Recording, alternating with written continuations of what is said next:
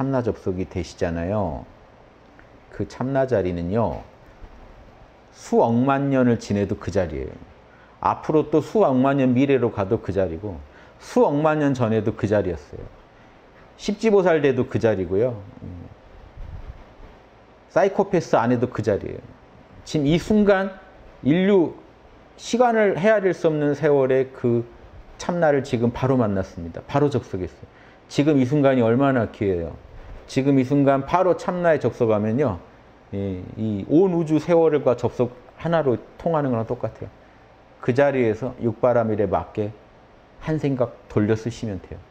이거 하려고 여러분 지금 존재하시는 거예요. 철학이요. 왜 사는지 답을 줘야 돼요. 왜 삽니까? 이렇게 살라고요. 참나 자리에 뿌리를 받고 지금 이 순간 육바라밀의 꽃을 피우라고 있는 거예요. 우리가. 왜 사는지를 알아야 어떻게 사는지가 나옵니다. 그 어떻게 살아야 돼요? 육바라밀 하면 옳은 거고 육바라밀 어기면 그런 게 나오죠. 이거 알라고 사는 거예요. 이거 하려고 사는 거고.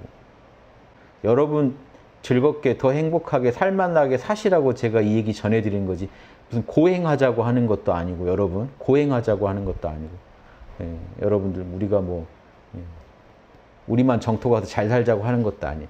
지금 여기서 그리고 뭐 일지 십지 뭐 그것도 잊어버리세요. 지금 내가 깨어서 육바람이라 하면 이 순간 나는 이미 부처고 이미 그 하느님이에요. 그냥 그 솜씨 영양 차이가 있으니까 맺지 맺지 구분은 합니다만 중요한 건 그 구분이 아니다. 내가 왜 존재하는지 알고 여기서 어떻게 살지 알고 한 생각 딱 내는 거다. 지금 여기서 그대로 정토가 펼쳐져 버리는 거죠. 과거 전생의 전토에서 살았나요 안 살았나요 뭐 알 필요도 없습니다. 지금 내가 살면 끝이죠. 지금 몰라 괜찮아 하면 끝이지 뭘. 일지이지 너나 해라 일지이지 그냥 깨워서 육바람을 하면 끝이지 뭘 거기다 붙여요. 도와드리려고 이것저것 방편으로 쓰는 거지 핵심은 이겁니다. 고행하지 마시고 즐겁게 사세요. 육바람이 안에서 신바람 나서 사시라고 이 얘기 드리는 거예요. 지금 바로 여기서 쓰시라고.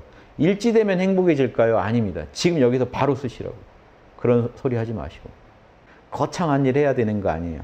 참나 안에 깨어 있으면서 우리 홍범 14조에 맞게 양심에 맞게 아공복공 구공 진리에 맞게 한 생각 딱 내시는 게 요게 이거 하려고 우리가 지금 이 순간 존재한다는 것을 명심하세요.